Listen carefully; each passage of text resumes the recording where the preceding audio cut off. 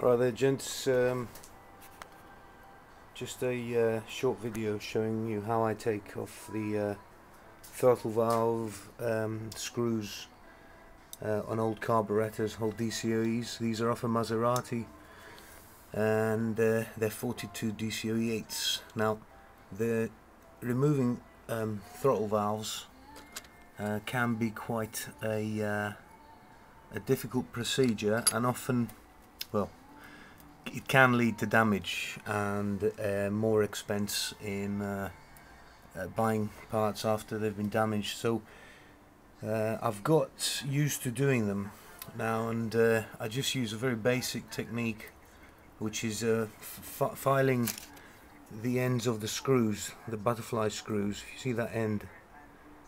From the factory these are well they install them well they used to install them and then um, they'd be they'd be punched from the back to lock them in place so they don't get ingested by the engine. So uh, I use a, a metal file to um, to file these flat to the spindle uh, and then um, tap them uh, with a, the hammer well tap the screwdriver with the hammer to help shake them free as best as possible so you can have the best chance of removing the screw without uh, burring it and then having to drill it out which has to be done on a lathe or a, mill, a miller. So uh, key things are um, I've got a woodworking vise here. Alright this is not metalworking it's woodworking. It's got a very wide um, flat flat face. So this is good for putting the DCOE um, IDF bodies inside. Uh, I use a a, a, thin plywood to soften it uh, but it locks the carburetor in position. Um, then you use the file at the back of the uh, butterfly screws to grind them down flush with the spindle body. And then you need to use uh, a screwdriver that it's is the best fit. And I, I mean that you know you, you need a flat screwdriver that fits snugly into the slot.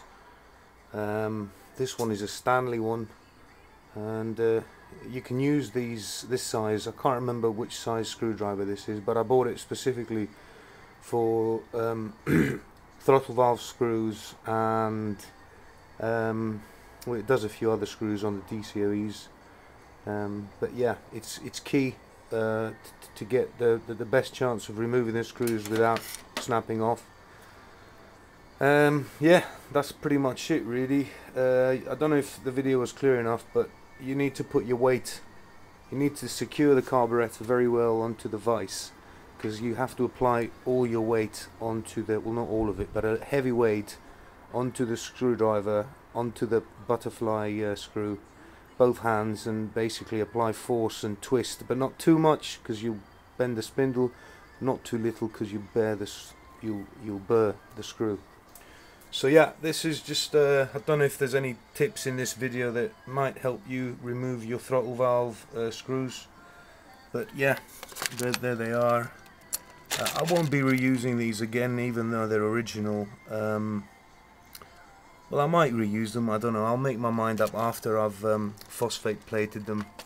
Uh, if not I'll just use um, standard Weber replacements. And here are all the, the throttle valves and the next to come out is the spindles. So um, uh, yeah that's uh, that's uh, that's another job.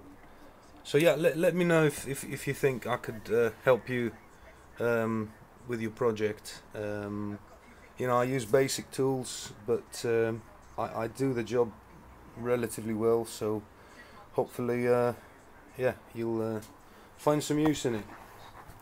Over and out. Keep working on your projects, get them going, and uh, enjoy using them. Vroom. See you later, lads. Bye.